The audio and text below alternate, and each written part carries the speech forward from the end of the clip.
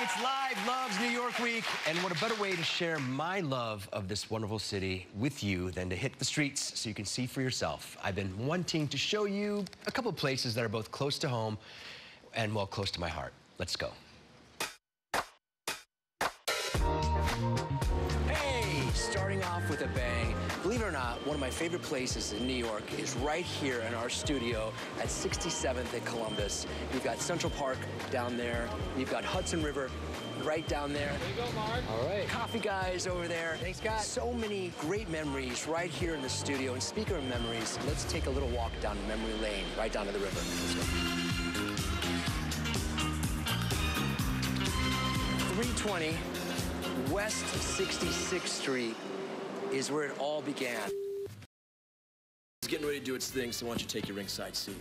This is where I started my career on All My Children. This is where I met my wife. And right there, in that window, I was here going over my lines for a screen test.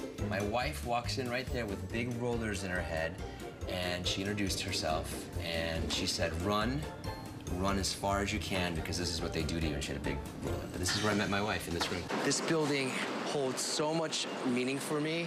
None of these buildings this way were there. Some things do change. Um, some things stay the same, and for good reason. Here we are, one of my favorite meals on the Upper West Side. Uh, a restaurant called Pomodoro. The soup in the bread. Look at that. You eat the soup and the bread. Try to see if it's still just as good.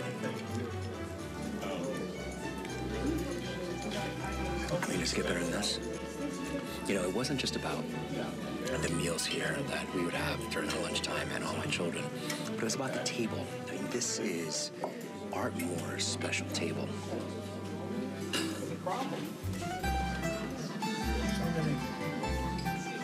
Am I reading something I should? It was also about having lunch here and then our walk home.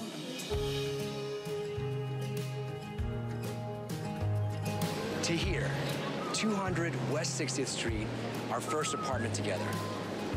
Let's go inside. Man, a little different. We had a wall here. It was like a galley kitchen. It's nice and open. This was our bedroom. Now we had this apartment when Kelly was when we were first married, and Kelly was pregnant with Michael. Little known thing is that I put in washer and dryer here. They had to shut down the building so I could do it, and they kept it. They thought it was a good idea. Look at that. It was nice back then, but this has obviously all been updated. The key to this apartment was the outdoor space. Wow. Yes. Amazing. Just like I remember it. And I put a satellite dish. There it is. Oh my gosh.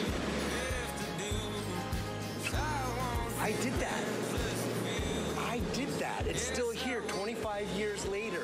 It's still there. How wild is that? Southwest exposure. Now let me take you to a very special part of the apartment. Wow, this is Michael's first room.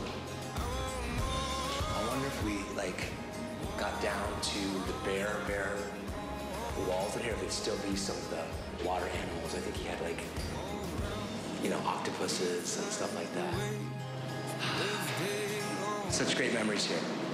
All right, one last very important stop.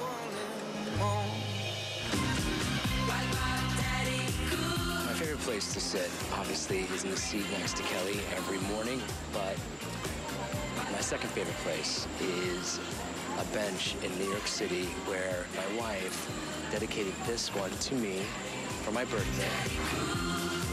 So I've got my own park bench. I love this park. I love my bench and I love the city.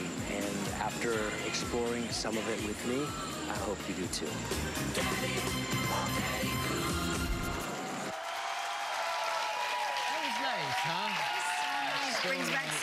So nice. Brings back so many memories.